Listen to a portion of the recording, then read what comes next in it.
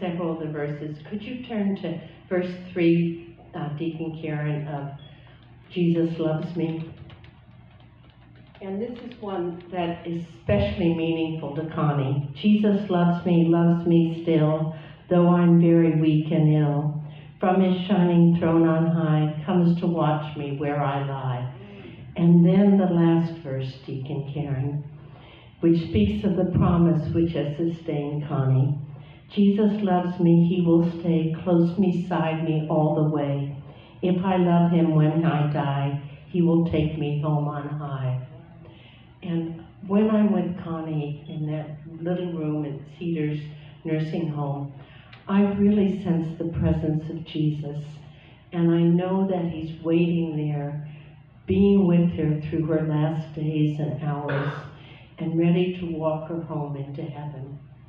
And Jesus is not there just for Connie and for those who are dying, but Jesus is with us all, all the time even when we cannot feel his presence. And there are times when we are so numbed with pain and so deep in despair that we cannot feel his presence. I know that I hit bottom when my husband suddenly died. I was numb. I just couldn't believe that he was gone in 20 minutes from a blood hemorrhage to the brain and I was just shaking my head and I couldn't feel the presence of Jesus or anyone. So the next morning I woke up and I did something I rarely do. I just opened my Bible and said, Oh God, speak to me. And it flipped open to Isaiah 54 and verse 5 reads, For your maker is your husband, the Lord Almighty is his name. And I felt Jesus wrap his arms around me and lead me through John's funeral and every day since. Jesus is with us all the time. He loves us so much that he wants to live with us forever. Can you imagine wanting to have us as roommates forever? Not just for a time of marriage or a release, but forever. And when we look at what Jesus has to say to us, he said this to us all the night that he was betrayed, the night before he died. He looked at his friends who he knew would leave him and desert him, and we have often left Jesus and turned against him. And he said to them, Do not let this rattle you. You trust God. Don't you trust me? There is plenty room for you in my Father's home. If it weren't so, would I have told you that I'm on my way to get a room ready for you? And if I'm on my way to get your room ready, I'll come back and get you so you can live where I live. And you already know the road I'm taking. Now, Jesus has a room for all of us. And often that word room, which is tazain, is mistranslated as mansions, um, or because the people think that they're going to get mansions or isolated estates in heaven. There's no isolation in heaven. We're just getting rooms in God's big house, apartments in God's big house. We're going to have to live with God and with one another forever. There's no isolating off in our own private mansion. And Jesus uses the word rattled. Don't let your hearts be rattled. And that's the same word that is used when he finds that Lazarus is dead. It says that Jesus was rattled, was grief stricken. And when he spoke about Judas betraying him, he used that same word, rattled. He was just shaken because he felt so alone, betrayed by one of his own twelve that he had loved and been with night and day for three years, sleeping on the ground outside, eating food with all the time. This was the same person who would betray him and see him crucified. And Jesus spoke of being rattled. And he tells us, don't be rattled. Don't be upset. Believe in God and trust me. I know that I'm going to leave you, but I'm going to prepare a place for you, a room for you in God's own house, a room for all of you. And there's room for us who are even struggling with our faith. And as Peter did, all we have to do is follow the way that Jesus points out to us. And he tells us next when Thomas says, Master, we have no idea where you're going. How do you expect us to know the road? Thomas expected a map, a instructions, or their version of a GPS. If we're going to get there, God, you have to give us directions because we get lost easy. And Jesus had been guiding them step by step for three years all around Galilee and Palestine. Why was he not telling them directions now? But Jesus said to them, I am the road, also the truth, also the life. No one gets to the Father apart from me. If you really knew me, you would know my Father as well. From now on, you do know him. You have even seen him.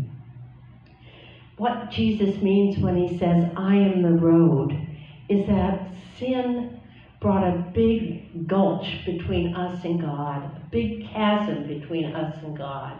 We were here and God was there. And we could not get close to God because our sins, our darkness, our choosing destruction kept us away from God. And Jesus on the cross spanned that chasm. He became the bridge over our sins, leading us directly to God so that we don't have to live in guilt and shame anymore. We can walk over that cross to God's arms. It's done with. Our past is truly the past. We are freed from our sins and from all the shame that it brought.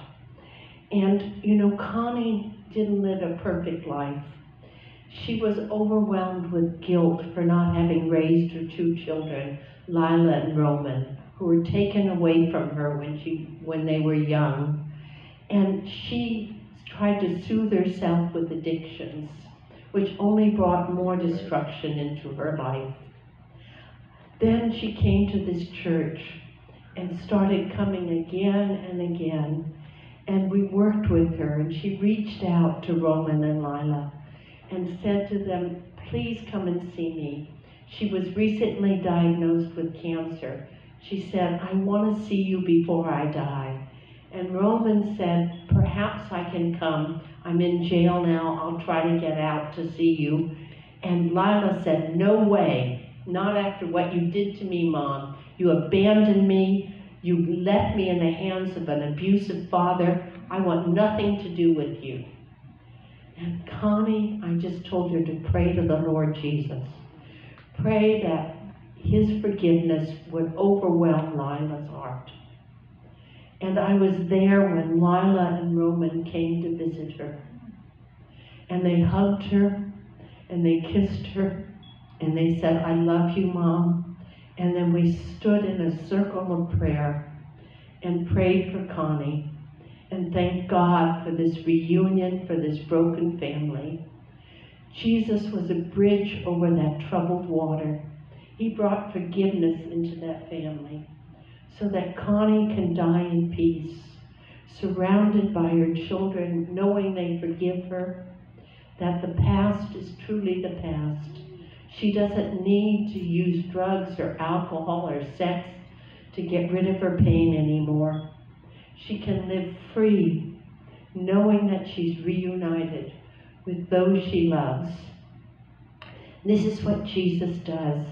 He is the road to freedom from sin. He is our bridge over our troubled waters.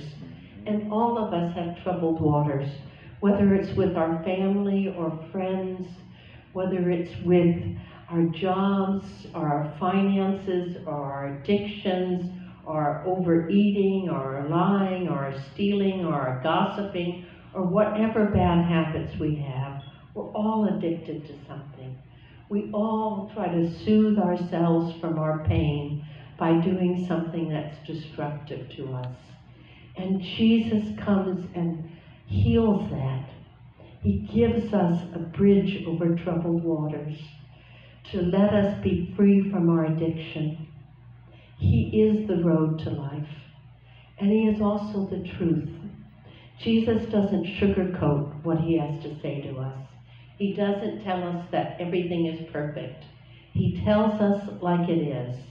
He tells us when others are really hurting us and when we are hurting ourselves. He shows us our faults as much as we don't want to hear it.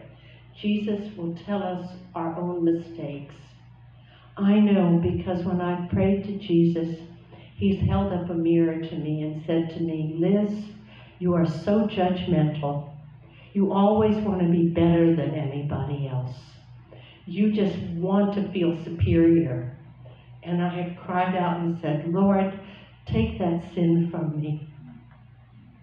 And he has said to me, vision yourself standing at the foot of the cross, which is level, when you're all shoulder to shoulder. You don't have their sins, but they don't have your sins. And you're all sinners. This is the truth that Jesus tells us. We are all sinners, saved by his love and grace, saved by his death on the cross. None of us leads a perfect life. As hard as we try, many of us struggle constantly, and all of us struggle. For we have our own faults buried within us, something that we want to hide from others. But Jesus, who is the truth, reveals it to us and helps us to heal. And that healing renews our lives and our love and deepens our forgiveness, not only for others, but ourselves. And lastly, Jesus is the life. He gives us not only truth and forgiveness, but He gives us a joy in living. We can wake up each day knowing that this is a new beginning. We don't have to carry our sins with us.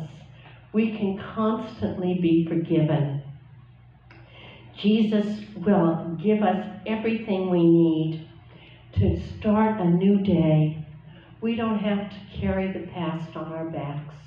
We are free to start each day fresh, healed, and redeemed in the love of Jesus. And then Jesus tells us not only that he is the road, the truth, and the life, but that we know the Father through him. Now, it's in the Old Testament, Moses asked to see God's face, and God says, It would stop your heart to see me. I'm so awesome that if you had a look at me, you would drop dead. But Moses said, But I need to know, Lord, that you're close to me. So God put him in a crack in a rock and put his hand over him and let Moses see the backside of God. But we have Jesus who looks like us, who has our eyes, our skin, our hands, our hearts, our noses, our mouths, our feet, who is like us. We have an image of Jesus as we have no image of God. We can see Jesus, and Jesus is God. So we have what Moses could not even have. We have the front of God, the full beauty of God in Jesus. And that beauty of Jesus is, leads us every day to fall more in love with Him, to be able to trust Him with our sins and with our past and with a new beginning. And Jesus becomes our all in all. Every day should be a day with Jesus. And I'm reminded of a story Reverend Sharon Williams, my friend from Brooklyn, who preached for us one of our anniversaries, told me about her son Dantas being interviewed by the Sunday school teacher. And the Sunday school teacher said to Dantas in front of the class, Dantas, what did you learn today? And he said, Jesus. And he said, she said, well, what lesson sticks out in your mind most that you learned in Sunday school? And he said, Jesus. And she said, Dantas, what do you want to learn next week? And he said, Jesus. And she said, Dantas, I'm tired of you giving me the same answer for everything. Don't you have another answer other than Jesus?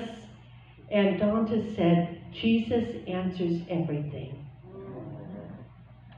Out of the mouths of children comes the truth. Jesus answers everything. Jesus is the answer to our empty wallets. Jesus is the answer to our exhaustion.